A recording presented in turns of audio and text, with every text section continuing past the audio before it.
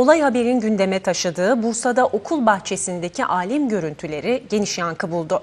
Yaşları 10 ile 15 arasında değişen çocukların bir ortaokulun bahçesinde alkol ve sigara içmesi üzerine emniyet harekete geçti.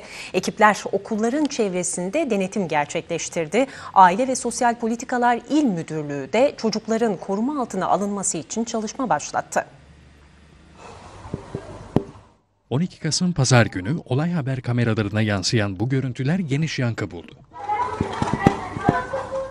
Görüntülerde yaşları 10 ila 15 arasında değişen bir grup çocuğun Altı Parmak Fethi Açan Çiçek Ortaokulu ile İmam Hatip Ortaokulu'nun bahçesinde alem sofrası kurması yer alıyor.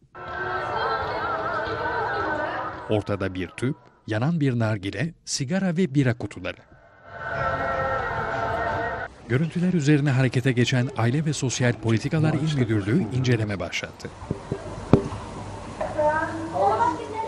İlk aşamada çocukların kimlikleri belirlenecek, ardından ailelere ulaşılacak. Madde bağımlılığının belirlenmesi durumunda çocukların koruma altına alınması da gündemde. Bursa Emniyeti de yaklaşık 200 polisin katılımıyla okulların çevresinde denetim gerçekleştirdi. Beş ayrı noktada gerçekleşen denetimlere asayiş, narkotik ve çevik kuvvet ekiplerinin yanı sıra Yunus timleri de katıldı. Var mı üzerinde herhangi bir şey? Ekipler şüpheli gördükleri kişi ve araçları durdurdu, kimlik kontrolü ve üst araması gerçekleştirdi. Okul çevrelerindeki metruk binalarda da arama yapıldı.